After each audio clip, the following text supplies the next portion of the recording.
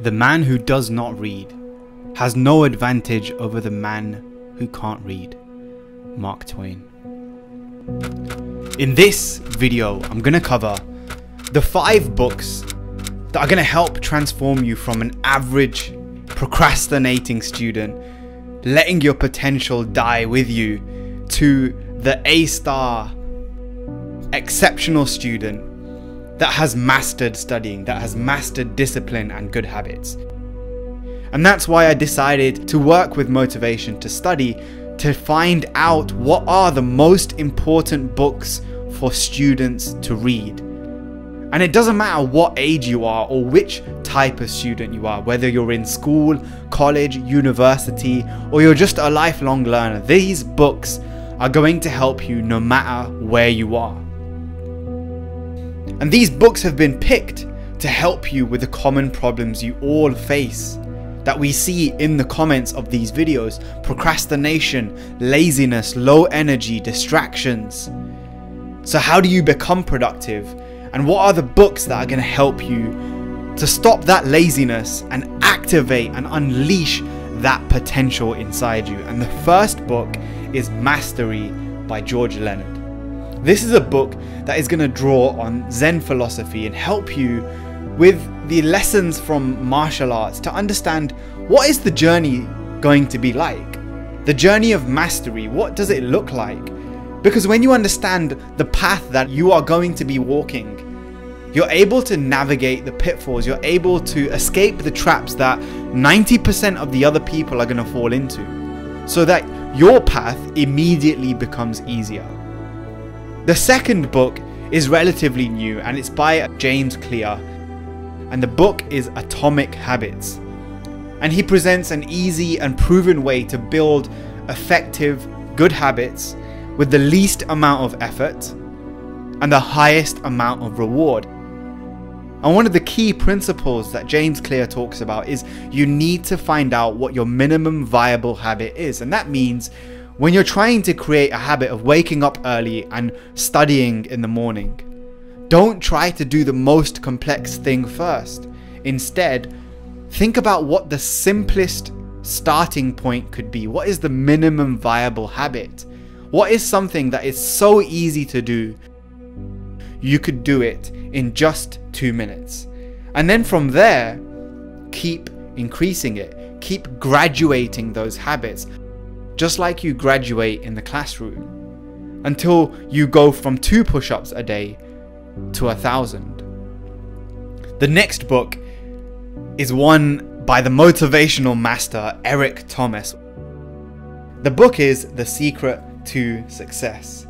It's a short book, it's a straight to the point book, it's punchy, it's motivating. It's everything that you would expect from ET and it's going to help you to understand one, the journey that Eric Thomas took to go from a high school dropout to an internationally renowned, best selling author. But it's also going to help you to understand the steps and the principles that Eric used to become the person that he is today. The next book is one called Big Magic by Elizabeth Gilbert. Now, we all know being a student on the surface seems easy, but in practice can be difficult. When you're sat there in the library and you're flicking through your phone one extra time, looking at Instagram or any other social media, how do you stay focused and how do you stay creative? Well, in this book, Elizabeth Gilbert goes through the process of how fear and creativity work and how the two of them influence your work. And alongside this, the next book is The War of Art by Steven Pressfield. And in this book, he talks about the difference between the amateur, the part time player who shows up when they feel like it, which some of you are, the part time player. You revise when you feel like it. You give 110% when you feel like it. You put your hand up in class when you feel like it. And in between the amateur and what Steven Pressfield calls the pro is resistance. Now, you can use the word resistance, you can use the word procrastination, you can use the word distraction. but it all references the same obstacle. But how do we get past that? These two books are going to help you to do exactly that. Let's think about why should you even read in the first place? Why is it something that is going to help you? Now, this is from somebody who I never used to read. When I was at school, despite the encouragement of teachers, despite even knowing that it is something I should do, I could never bring myself to actually do it. So, what was the difference? I'm now in a position where, since I've left university, since I've left school, college, my education behind, I actually study and read more than ever before. And the thing that has really helped me to make that transformation, to take that leap, has been to look at it not just as reading, but as having a meeting with the author. So, whether you admire Eric Thomas, Gary Vaynerchuk, or any of these other self help gurus, imagine when you are reading, you're spending one to one time with that author. Now, this might not be true, but that person, that individual, over decades of experience, has sat down, taken notes on the most important things that they've learned, and then structured it so that you can take that shortcut. So the question's not why should you read, the question is really which books should you read?